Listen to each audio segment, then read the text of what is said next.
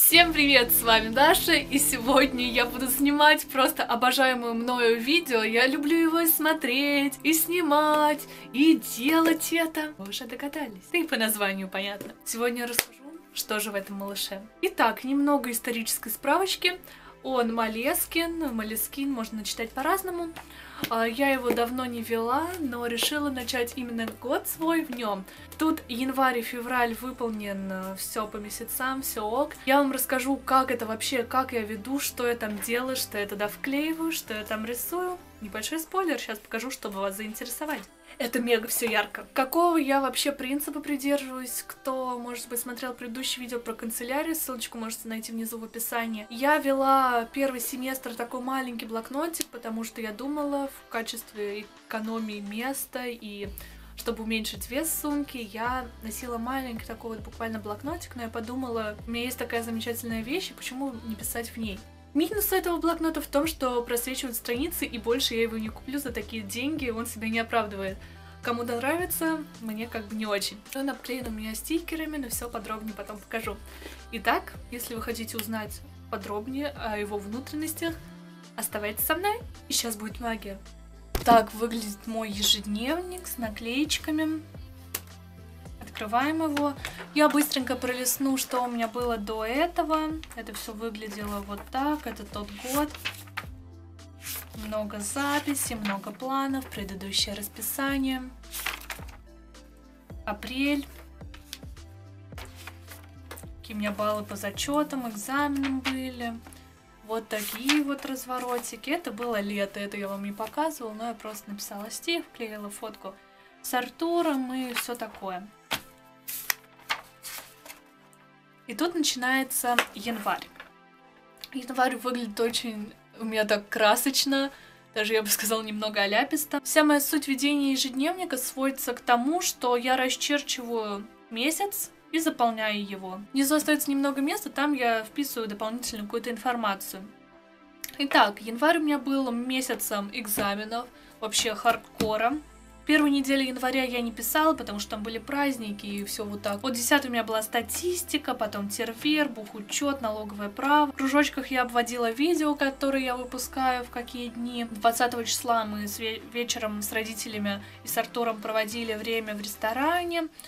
21-го мы ходили в цирк, вот и это все отмечено у меня, что в какой день мы делаем. А потом мы вот уезжали в Кольчугино два дня, два дня во Владимире, потом приехали в Москву, ходили 28-го на баскетбольный матч ЦСКА и команды из Турции. И 29-го мы отправились в путешествие на поезде в Сочи. Первый день мы отсыпались, ничего не понятно было. 31 числа, последний день января, мы пошли в Дендрарий, об этом видео есть на канале, ссылочку оставлю в описании. Вот так вот, внизу расположены такие вот кружочки, я хотела их сделать в виде диаграммок, но примерно получилось у меня, что все баллы одинаковые, 92, 93, 94 95, так что они все получились почти одинаковыми. Учет, налогоправ, тервер, статистика. В нижнем правом углу у меня располагается надпись «Январь» и планы на каникулы. А планы на каникулы было совсем немного, это путешествие, это yes, все правильно, все сделано.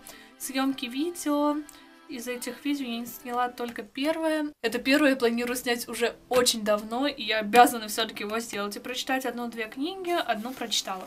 Как я и сказала до этого, странички очень просвечиваются. Получается, вот на этой стороне уже ничего писать нельзя, так что я пропускаю разворот и пишу дальше. Ну и вообще расскажу, как я в принципе подхожу к делам. У меня есть разворот, у меня есть такое вложение, которое находится на страничке, которую непосредственно я сейчас веду. Эту бумажку можно взять с собой, чтобы не тащить э, целый ежедневник и вписывать сюда дела. Тут дела типа какие-то домашние задания, что надо позвонить куда-то, что-то сделать, что купить, просто все вот куча вывалена сюда моих дел.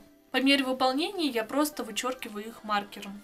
Но есть еще вот такие вот типа листки, это планы на день. Вот, например, сегодня мне надо вытереть пыль, помыть зеркала, снять два видео, которые сейчас одно я уже снимаю, под вопросом еще какие-то дела. Вот это вот э, по мере того, как я все сделаю, я его просто выбрасываю. С этим же листочком я поступаю ровно так же, когда все это будет сделано, я просто это выброшу. Тут опять же находится весь мой месяц, и я не загромождаю какими-то вот такими вот плавающими делами вот это. Ну и давайте пробежимся. В начале месяца мы еще были в Сочи. Вот в среду, первый день, мы ездили в Роза Хутор, Красной Поляны, в Олимпийский парк. Далее ходили в океанариум, пятница я вон приклеила такой смайлик, что я очень не хочу уезжать. В воскресенье у Артура было день рождения, мы ездили покупать ему подарочки, супер классные кроссы. Вы у него можете посмотреть в инстаграме, ссылку оставлю в описании. И шестого было начало учебы, я тут изобразила вообще тлен. Тут два дня ничего не происходило, то есть я просто ходила учиться, и я даже не знала, что тут заполнить пока еще втягиваюсь в режим. Сегодня у нас четверг. Этот день был стоматолога, но к стоматологу я сходила вчера. И вот тут какие видео мне надо снять. Тут вот можете заметить, что каждую пятницу у меня написано кисти. И по мере выполнения буду ставить галочки или штриховать, я пока еще не знаю.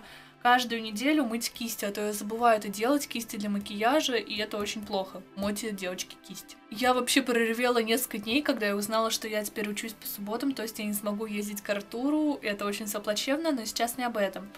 А, в субботу-воскресенье мы будем праздновать у него дома его день рождения прошедшее, приедут все его друзья, и я туда тоже поеду после пар, который заканчивается пол второго. Далее у меня еще пока дни никакие не заполнены, но я отметила, что я день всех влюбленных, и надо сделать английский. И надо отметить, что 23 февраля мужской день. Я еще этого не сделала. Если вы хотите посмотреть, как именно я заполняю все дни, обязательно Напишите внизу в комментариях. Сегодня же я буду просто вам показывать, что у меня есть на данный момент. Листаем дальше. Тут у меня расписание моих занятий на этот семестр.